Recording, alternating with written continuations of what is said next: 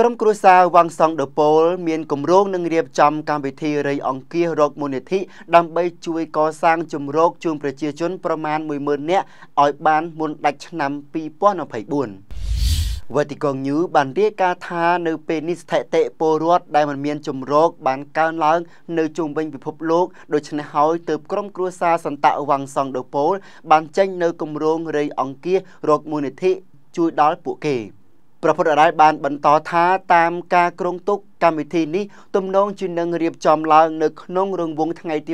27ខែកញ្ញាខាងមុខនៅចំថ្ងៃដែលព្រះសហគមន៍ធ្វើពិធីរំលឹកខួបសន្តៈផ្ទាល់មកដល់ពេលនេះក្រុមសន្តៈវាំងសង់ដូពូលកំពុងតែដំណើរការកម្មវិធីខុសៗគ្នាចំនួន101គម្រោងនៅក្នុងប្រទេស